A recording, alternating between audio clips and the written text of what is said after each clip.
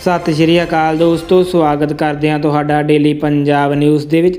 ਦੋਸਤੋ, ਇਸ ਵੇਲੇ ਦੀ ਵੱਡੀ ਖਬਰ ਲਖੀਮਪੁਰ ਚ ਭੁੱਖ ਹੜਤਾਲ ਤੇ ਬੈਠੇ ਸਿੱਧੂ ਬਾਰੇ ਹੁਣ ਆ ਗਈ ਹੈ ਤਾਜ਼ਾ ਵੱਡੀ ਖਬਰ।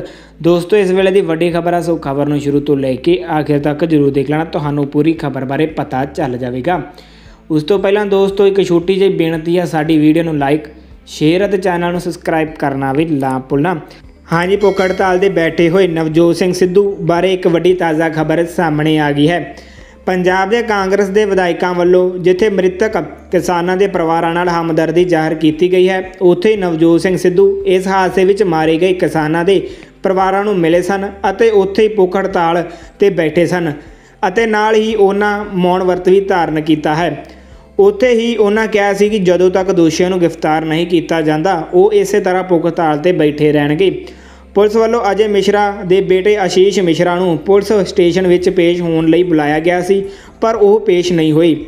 ਉੱਥੇ ਹੀ ਪੁਲਿਸ ਵੱਲੋਂ ਉਹਨਾਂ ਦੇ ਦੋ ਕਰੀਬੀ ਰਿਸ਼ਤੇਦਾਰਾਂ ਨੂੰ ਗ੍ਰਿਫਤਾਰ ਕੀਤਾ ਗਿਆ ਹੈ। ਨਵਜੋਤ ਸਿੰਘ ਸਿੱਧੂ ਨੇ ਭੁੱਖ ਹੜਤਾਲ ਤੇ ਬੈਠਣ ਤੋਂ ਪਹਿਲਾਂ ਕਿਹਾ ਸੀ ਕਿ ਮੈਂ ਇੱਥੇ ਉਸ ਸਮੇਂ ਤੱਕ ਬੈਠਾ ਹਾਂ, ਜਦੋਂ ਤੱਕ ਦੋਸ਼ੀਆਂ ਖਿਲਾਫ ਕਾਰਵਾਈ ਨਹੀਂ ਕੀਤੀ ਜਾਂਦੀ।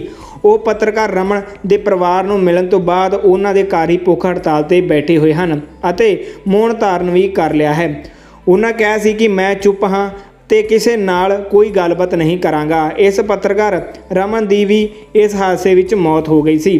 ਵੀਰਵਾਰ ਨੂੰ ਨਵਜੋਤ ਸਿੰਘ ਸਿੱਧੂ ਸਮੇਤ ਕਈ ਕਾਂਗਰਸੀ ਨੇਤਾ ਪੰਜਾਬ ਤੋਂ ਚੱਲੇ ਸਨ ਅਤੇ ਉਹਨਾਂ ਨੂੰ ਸਹਾਰਨਪੁਰ ਵਿੱਚ ਪੁਲਿਸ ਵੱਲੋਂ ਹਿਰਾਸਤ ਵਿੱਚ ਲੈ ਲਿਆ ਗਿਆ ਸੀ।